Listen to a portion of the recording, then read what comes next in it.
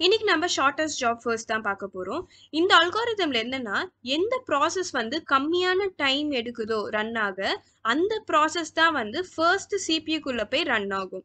So அதுதான் வந்து shortest job first இதில் வந்து ப்ரீஎம்டிவ் நான் ப்ரீஎம்டிவ் ரெண்டாக டிவைட் பண்ணிக்கலாம். ப்ரீஎம்டிவ்னா என்ன? சிபியூவில் ஆல்ரெடி ஒரு ப்ராசஸ் ரன் ஆகிட்டு இருக்கும்போது இன்னொரு புது ப்ராசஸ் வந்து இதை ஃபோர்ஸ்ஃபுல்லாக ஸ்டாப் பண்ணிட்டு இந்த ப்ராசஸ் சிபியூவில் ரன் ஆச்சுன்னா அது ப்ரீஎம்டிவ் நான் ப்ரீஎம்டிவ்னா என்ன? சிபியூல ஒரு ப்ராசஸ் ரன் ஆகிட்டு இருக்கும்போது நம்ம ஃபோர்ஸ்ஃபுல்லாக ஒரு ப்ராசஸை ஸ்டாப் பண்ண முடியாது. அந்த ப்ராசஸ் கம்ப்ளீட் பண்ணிட்டு வெளில போனதுக்கு அப்புறம் தான் நம்ம ஒரு புது ப்ராசஸ் வந்து சிபியூக்குள்ள அலோகேட் பண்ண முடியும். அதுதான் வந்து நான் ப்ரீஎம்டிவ் இந்த அல்காரிதமோட அட்வான்டேஜ் என்னன்னா இதுக்கு வந்து மினிமம் ஆவரேஜ் வெயிட்டிங் டைம் இருக்கும். ஸோ இந்த அல்காரிதமை எப்போ யூஸ் பண்ணலாம் அப்படின்னு கேட்டிங்கன்னா வந்து நம்மளுக்கு எக்ஸாக்டாக ஒரு ப்ராசஸோட ரன்னிங் டைம் என்ன அப்படின்னு தெரிஞ்சால் நம்ம இந்த அல்காரிதம் யூஸ் பண்ணலாம். ஸோ ப்ரீஎம்டிவ்னா என்ன? ஒரு ப்ராசஸ் வந்து சிபியில் ரன் ஆகிட்டு இருக்கும் போதும் அதை ஸ்டாப் பண்ணிவிட்டு இன்னொரு ப்ராசஸ் ரன் பண்ணலாம். அதான் ப்ரீஎம்டிவ் ஸோ இப்போ இதில் அரைவல் டைம்னா என்ன? அந்த ப்ராசஸ் எத்தனை மணிக்கு சிபியூக்குள்ள வந்திருக்கு? பர்ஸ்ட் டைம்னா அந்த ப்ராசஸ் எவ்வளோ நேரம் சிபியூவில் ரன் ஆகும்? அதான் பர்ஸ்ட் டைம் ஸோ ஃபர்ஸ்ட் இது எப்படி நடக்கும்னா அரைவல் டைம் ஜீரோவில் என்ன இருக்குது பி ஒன் ப்ராசஸ் இருக்குது ஸோ பி ஒன்ன்ற ப்ராசஸ் ரன் ஆகிட்டு இருக்கும். இது வந்து ஃபர்ஸ்ட் செகண்டில் என்னவா இருக்கும்னா செவன் செகண்ட்ஸ் இருக்கும். ஏன்னா ஒரு செகண்ட் முடிஞ்சிருக்கு. நெக்ஸ்ட் வந்து இப்போ ஃபர்ஸ்ட் செகண்டில் பார்த்தீங்கன்னா இன்னொரு ப்ராசஸ் வந்திருக்கு. பி டூன்ற ஒரு ப்ராசஸ் வந்துருச்சு. ஸோ அப்போ அதோட பர்ஸ்ட் டைம் பார்த்தீங்கன்னா ஃபோர் ஸோ இது வந்து கம்மியாக இருக்குது ஷார்ட்டஸ்ட் டைம் தானே நம்மளுக்கு ப்ரியாரிட்டி கொடுப்போம். ஸோ இப்போ இந்த ஃபிஃப்த் செகண்டில் கம்ப்ளீட் ஆயிருக்கும். அப்போது அந்த டைம்லேயே வந்து செகண்ட் செகண்டில் வந்து பி த்ரீ ப்ராசஸ் வந்திருக்கும். தேர்ட் செகண்டில் பி ஃபோர் ப்ராசஸ் வந்திருக்கும். பட் இது ரெண்டோட பர்ஸ்ட் டைமோட இந்த ஃபோர் தான் கம்மி. ஸோ அதனால வந்து பி டூ ப்ராசஸை ஃபுல்லாக வந்து கம்ப்ளீட் பண்ணிடும் இப்போ நெக்ஸ்ட்டு பார்க்கும் இதில் எது ஷார்ட்டஸ்ட் ஜாப்னு பார்க்கும் எது?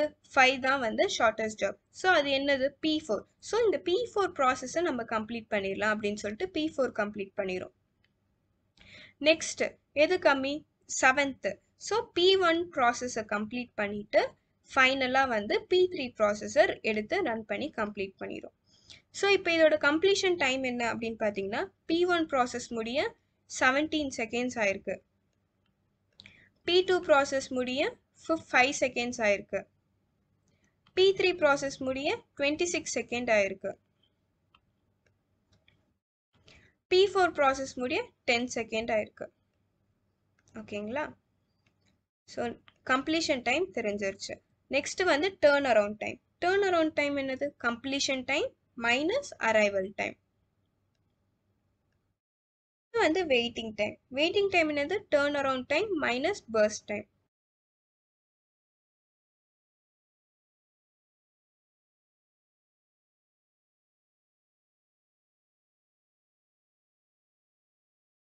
time இந்த சிபியூக்குள்ளே வந்ததுக்கு அப்புறமா அந்த சிபியூ எவ்வளோ நேரம் கழிச்சு ரெஸ்பாண்ட் பண்ணுது? அதான் response time so ten minus zero which is ten P டூக்கு எப்போ ரெஸ்பாண்ட் பண்ணுது? ஃபர்ஸ்ட் செகண்டில் so one minus one zero next P த்ரீக்கு எப்போ ரெஸ்பாண்ட் பண்ணியிருக்கு? செவன்டீன் செகண்டில் so seventeen minus two fifteen next P four P ஃபோர்க்கு எப்போ ரெஸ்பாண்ட் பண்ணியிருக்கு five five minus three two so இதான் ரெஸ்பான்ஸ் டைம் நான் ப்ரீஎம்டிவ் பார்க்கலாம். நான் ப்ரீஎம்டிவ்னா என்னது? ஒரு ப்ராசஸ் ரன் ஆகி முடிஞ்சதுக்கு அப்புறம் தான் நெக்ஸ்ட் ப்ராசஸ் சிபியூக்கு அலோகேட் பண்ண முடியும். ஸோ ஃபர்ஸ்ட் ஜீரோத்து செகண்டில் என்னது? பர்ஸ்ட் டைம் த்ரீயோட பி டூ வந்திருக்கு. ஸோ பி டூவை ப்ராசஸ் ரன் ஆகி முடிஞ்சிடும் ஸோ இப்போ என்ன ப்ராசஸ் எடுக்கும் அப்படின்னு பார்த்தீங்கன்னா எது ஷார்ட்டஸ்ட் ஜாபோ அதுதான் எடுக்கும். ஸோ வந்து பி ஃபோர் தான் வந்து ஷார்ட்டஸ்ட் ஜாப் ஸோ நெக்ஸ்ட்டு வந்து பி ஃபோர் ரன் ஆயிரும். பி ஃபோர் ரன் ஆனதுக்கப்புறம் எது ஷார்ட்டஸ்ட் ஜாப்னு பார்க்கும் பி ஒன் தான் ஷார்ட்டஸ்ட் ஜாப் இருக்கு.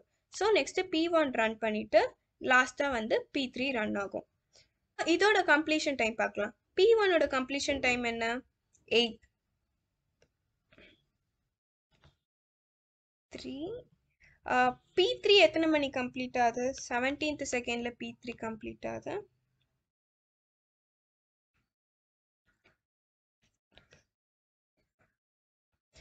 ஸோ இதான் வந்து completion time next turn around time என்னது? Completion time minus burst time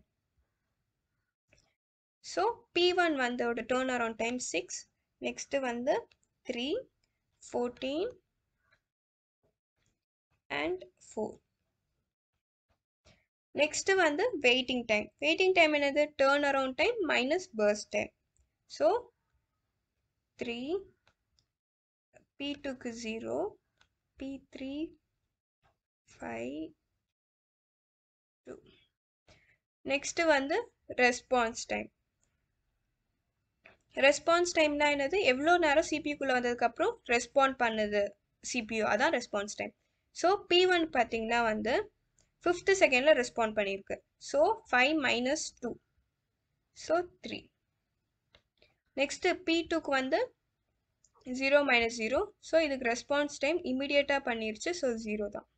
next வந்து பி த்ரீக்கு வந்து eight minus three which is five next P ஃபோருக்கு வந்து தேர்ட் செகண்டில் ரெஸ்பாண்ட் பண்ணியிருக்கு பட் அது வந்தது ஃபர்ஸ்ட் செகண்ட்லேயே ஸோ ரெண்டு செகண்ட் கழித்து ரெஸ்பாண்ட் பண்ணியிருக்கு ஸோ டூ இப்போ வந்து சிபியூ வந்து இங்கே வந்து எங்கேயுமே வந்து ஐடலாக இல்லாமல் கண்டினியூஸாக சிபியூ ப்ராசஸ் பண்ணிகிட்டே இருந்துச்சுன்னா நம்மளுக்கு வந்து வெயிட்டிங் டைமும் ரெஸ்பான்ஸ் டைமும் வந்து சேமாக இருக்கும்.